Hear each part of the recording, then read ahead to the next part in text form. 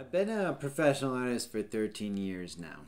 And when I got started, I had only a few bucks in my pocket and I was hitchhiking as a broke hobo, and it was a very humbling experience.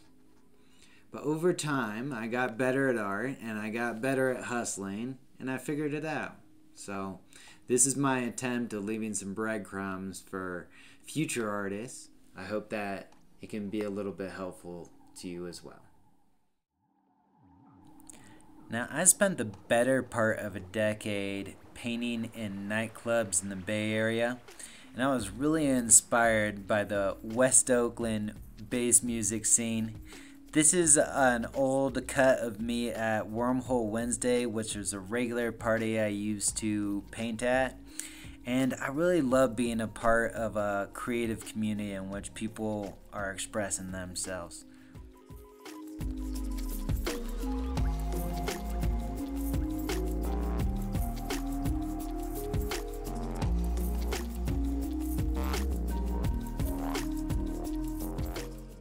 I started collaborative painting with other people who are also incredibly skilled.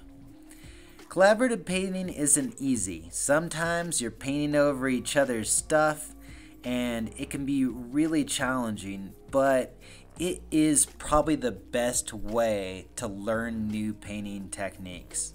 Just work with other people who you think are awesome, and you'll find that your formulas work together and it makes 1 plus 1 equal 3.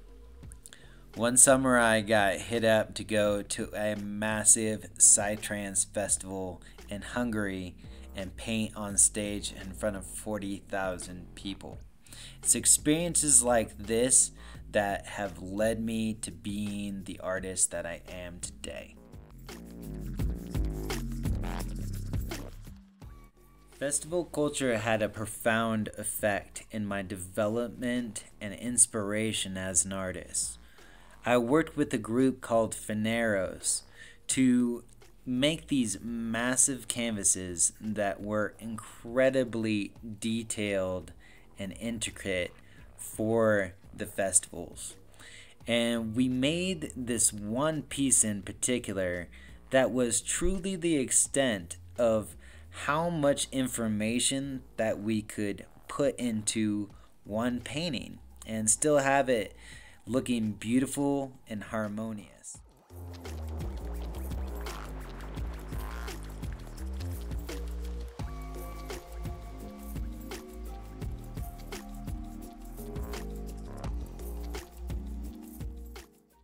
My next painting was called Raw Data. I was working this one solo, but taking the knowledge that I gained from working collaboratively with others and applying it into my own compositions. I had gotten pretty good at stitching together six different paintings and making them into one. And that was what I was doing with my own work at this point. In the process of painting this one, I would stay up all night for multiple nights in a row. And I worked extremely hard on it to really try to make the best possible thing that I could. When I was done, I sold it for more money than I'd ever gotten for any painting, and I moved to Maui. So this one really changed my life for the better.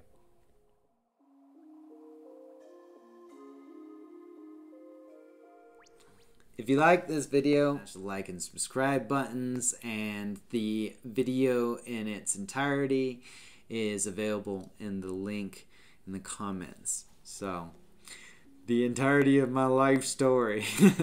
Thank you guys so much for watching this. I appreciate you. Until next time.